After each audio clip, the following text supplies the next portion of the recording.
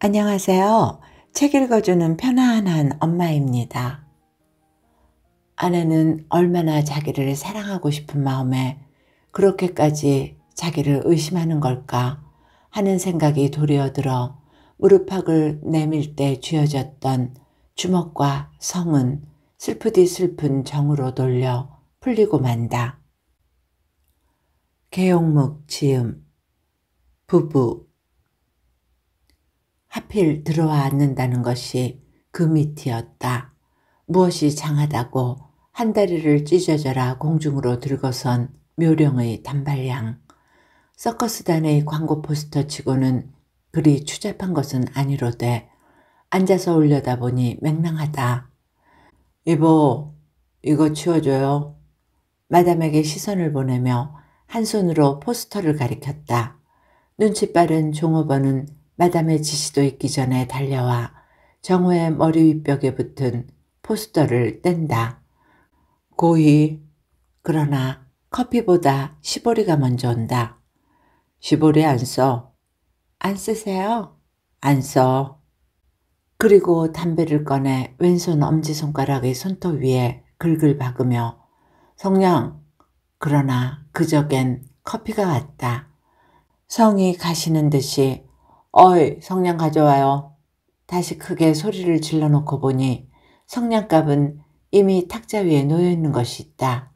멋쩍게 집어들어 담배를 붙이고 나니 계집은 성냥을 또 가져온다. 할 말이 없다. 말없이 정호는 찻잔을 들었다.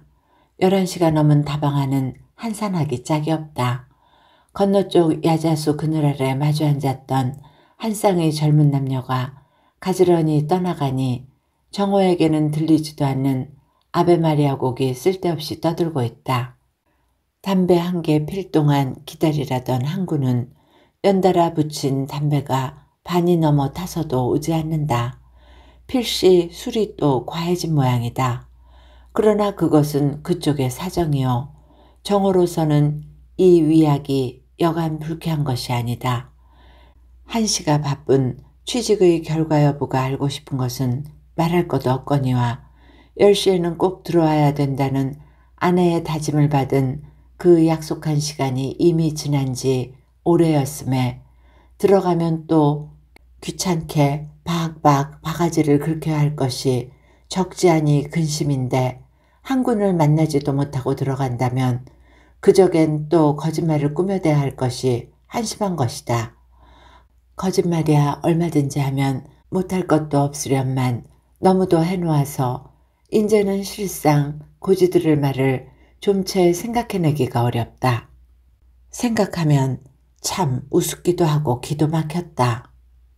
외출해서 늦게만 들어오면 아무리 바른 말을 해야 고지는 듣지 않고 그저 어느 계집을 보러 갔던 줄만 믿고 매일같이 앙탈이다.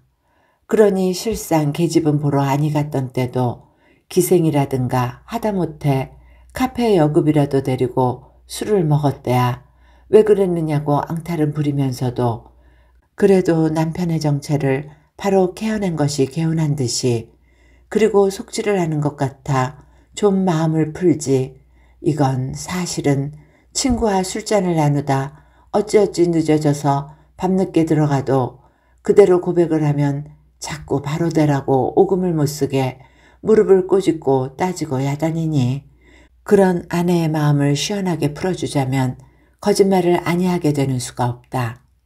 그러나 거짓말도 한정이 있지. 밤낮 계집만을 보러 다녔다 수도 없고 또 밤낮 같은 계집만을 보았다면 고지 들을 수도 없는 것이다. 그래서 요즘은 실상 거짓말의 준비에도 궁핍한 참이다. 그래도 한군을 만나보거나 들어가면 취직 여부는 아직 모른다 하더라도 어쨌든 거짓말을 꾸며대는 데는 다소 참고가 될 것도 같은데 한군은 이렇게도 약속을 안 지킨다. 좀 더 기다리면 오려나. 담배를 다시 한 개 드러내어 태우자니 종래 12시를 치고 만다.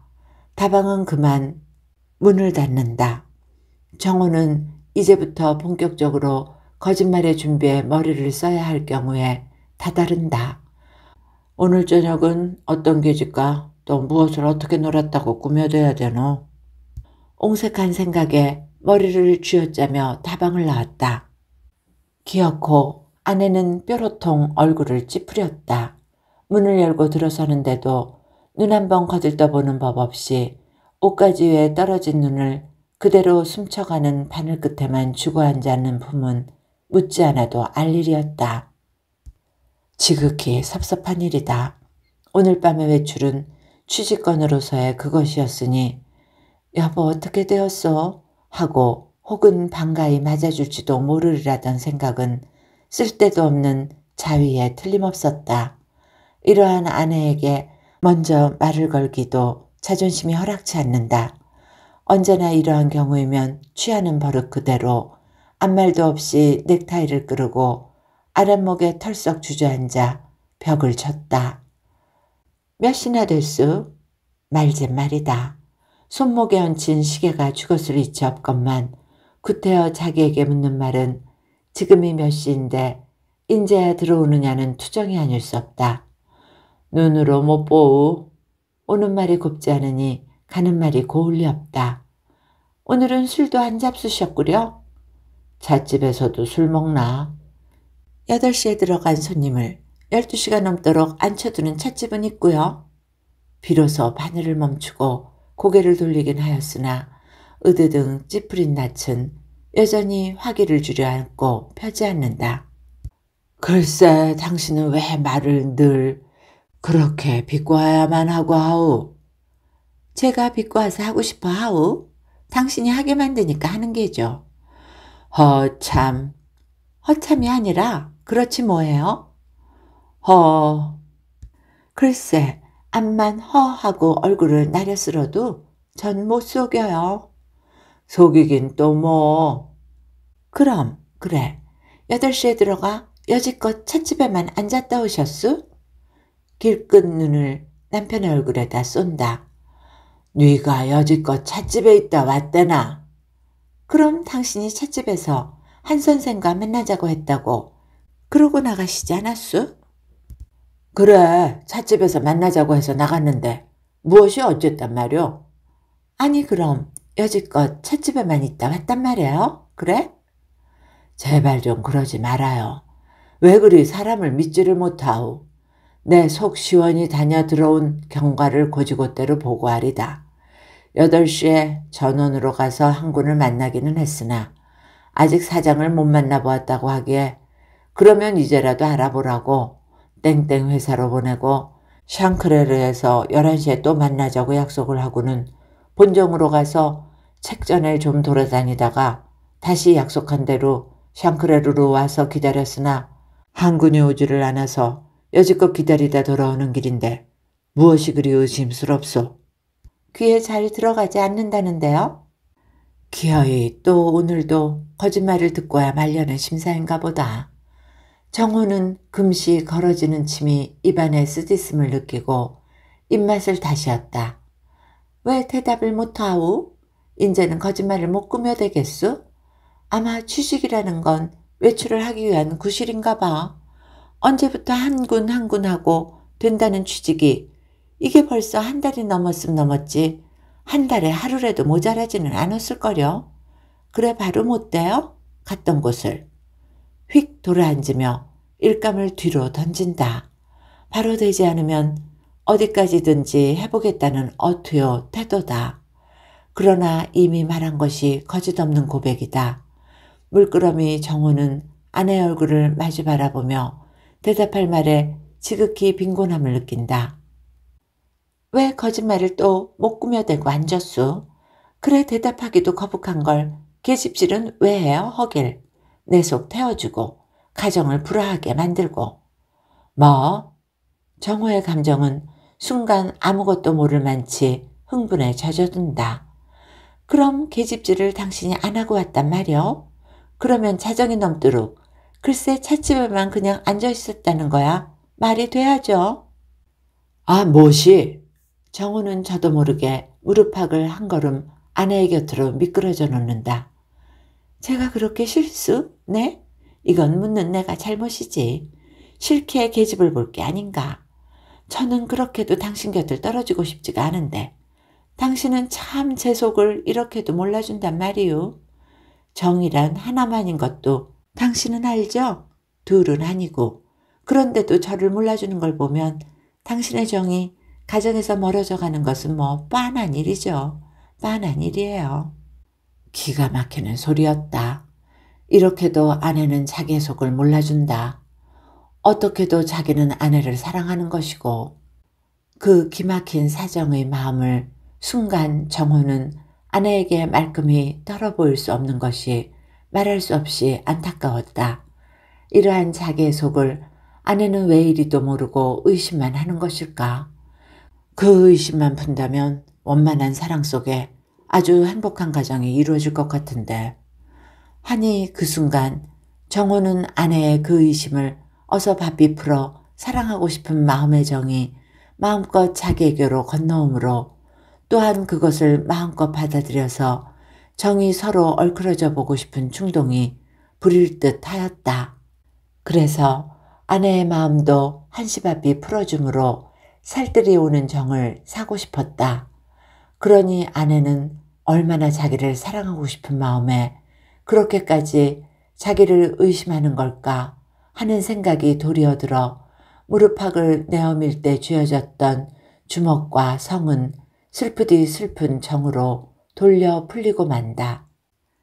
제가 당신을 사랑하는 것처럼 당신은 저를 사랑하지는 못하죠. 사내로 생겨서 외입을 안 하리라고는 저도 믿지는 않아요. 그러나 그것을 속이는 건 아내에게 사랑이 없다는 증거거든요. 아내에게 남편으로서야 못할 말이 세상에 뭐에 있겠어요? 글쎄. 참 할 수 없군. 당신은 한 번도 속일 수가 없으니 원참. 아내의 그 자기를 살뜰히 사랑하는 것 같은 정에 사로잡힌 정호는 한시바삐 거짓말이라도 해서 그 아파하는 마음을 어서 풀어주고 싶은 충동에 못 이긴다. 글쎄, 난 못 속여요. 남편한테 속고 살겠으리 그렇게 천치는 아니거든요. 비로소 남편의 입에서 바른 말이 실상은 거짓말, 나오게 만들었다는 장함과 또 남편의 속을 알게 되었다는 것들의 반가움이 이야기도 듣기 전에 벌써 그의 낯에 찡그렸던 주름살을 어느 정도까지 펴놓기에 조카였다.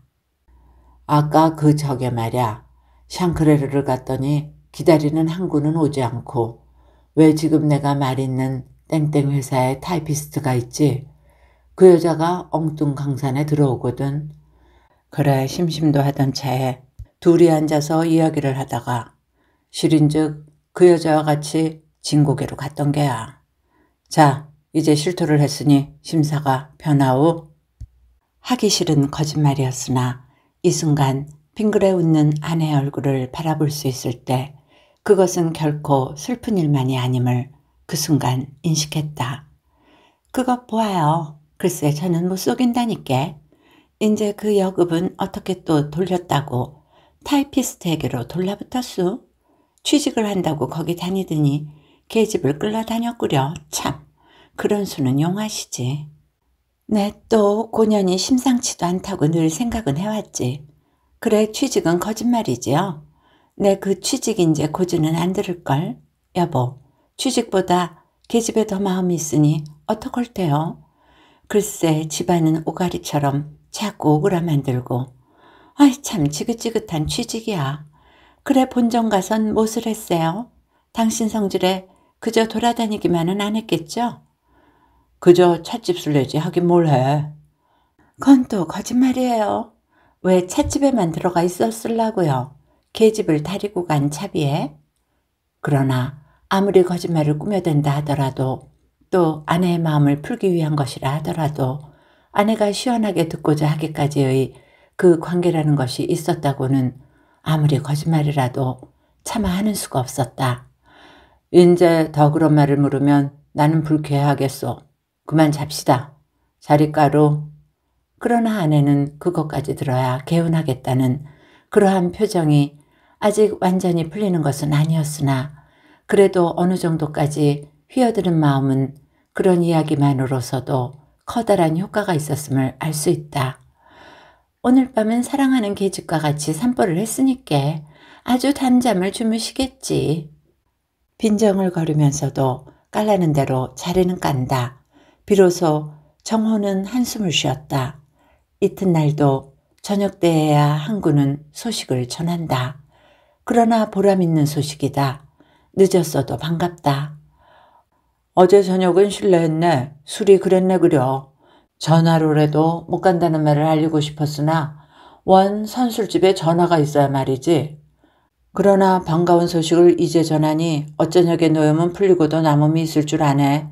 되었네 되었어. 취직이 되었단 말일세. 내 어제 저녁 바로 그 길로 사장을 만나보고 따졌던 것일세. 이제 회사의 일이 정리되는 대로 정식 통첩이 자네에게로 날아들길세. 멀어도 아마 사흘 후이면 될 것이라 하네. 일 없이 바빠.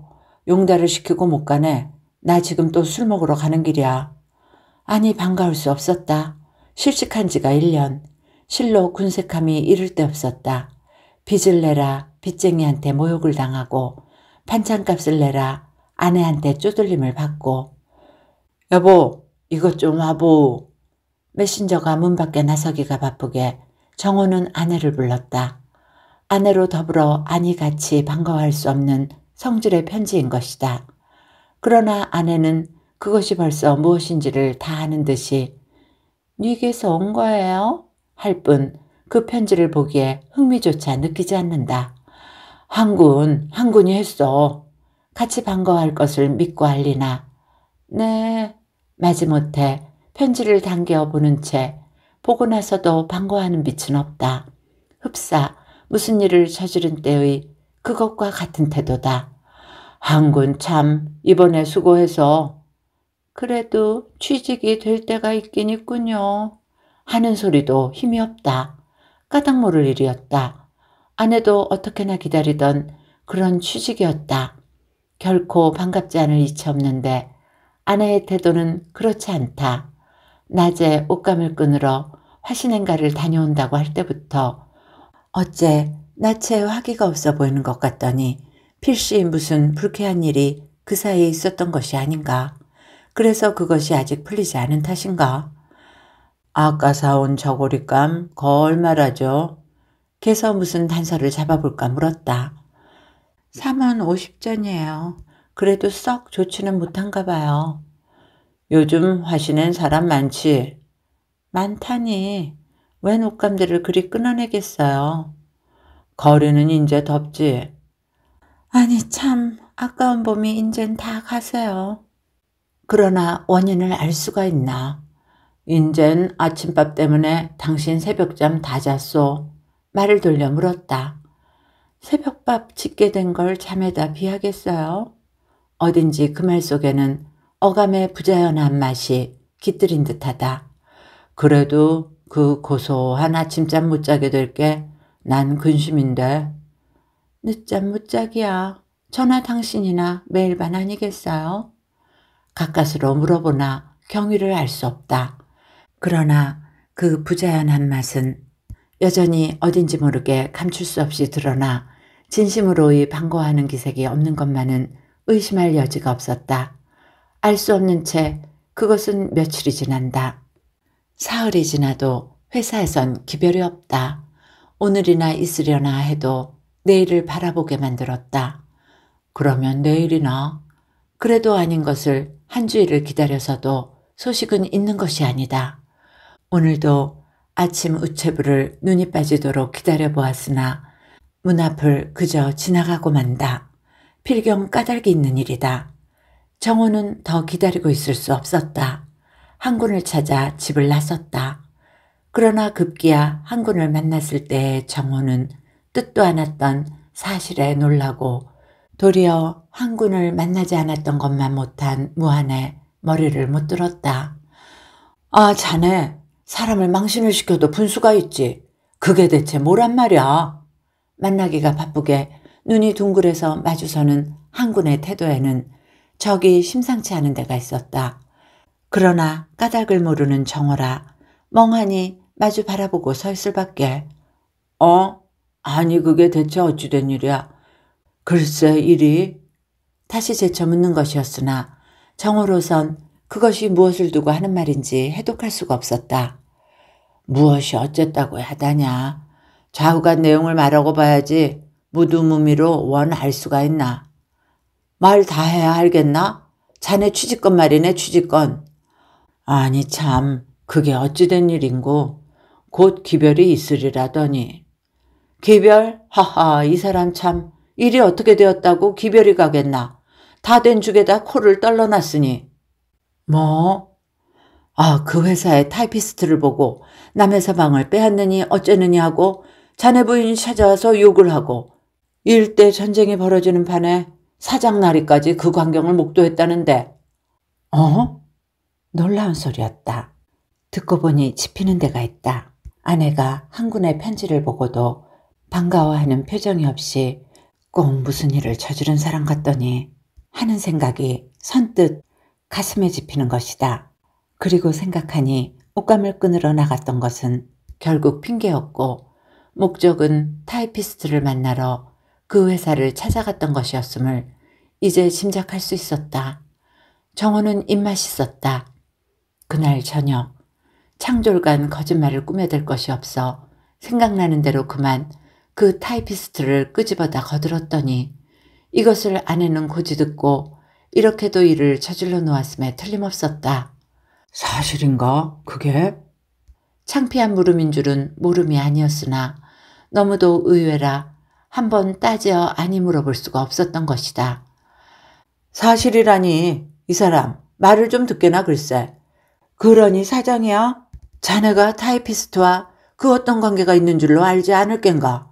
그러니 지금 사장과 그 타이피스트와 어떠한 사이라고 그 추측이 되겠나? 아, 어제 그 회사 앞을 지나다가 자네도 이쯤은 출근할 것 같고 해서 들렀더니 제기랄 사장한테 욕만 실컷 얻어먹었네 그래. 그게 무슨 짓이겠나 글쎄. 이까지 이야기하는데 정호는 뭐라고 입을 벌릴 말이 없었다. 어쨌든 자네 연애 사냥은 참 용하네. 몇 번 만나지도 않은 그 계집을 또 언제 그렇게 후렸던 겐가. 관계가 아주 단단했기에 자네 부인도 그렇게 분을 참지 못했겠지. 오직 부끄러울 따름이다. 아무리 허물없는 버스의 앞이라 하여도 그 수치스러운 마음은 정면으로 얼굴을 들고 마주 대할 수가 없었다.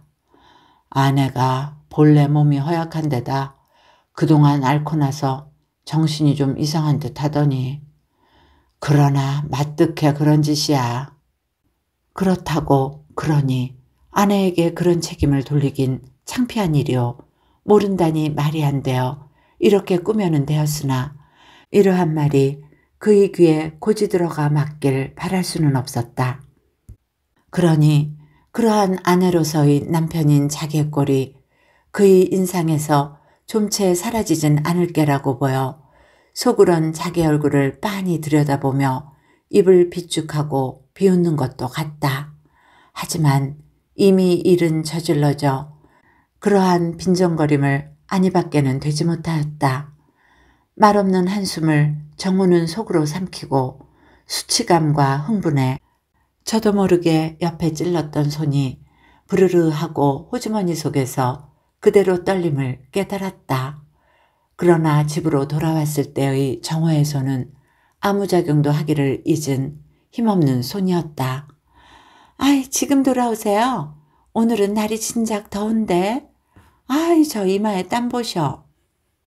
마주 달려나와 모자를 받고 웃옷을 받을 때 일찍이 돌아오면 이렇게도 반가이 맞는 아내가 하는 생각이 몰려있던 그의 손에 힘을 하나도 남기지 않고 온통 빼앗았던 것이다. 어, 다만 괴로운 마음으로 이렇게 한숨과 같이 갚았을 뿐 등떨미의 땀을 씻어주는 대로 아내에게 몸을 맡기고 있었다. 이야기는 이렇게 끝을 맺습니다. 어리석은 아내를 달래려고 지어낸 작은 거짓말. 그로 인해 큰 낭패를 보게 된 남편의 이야기. 어떻게 들으셨는지요?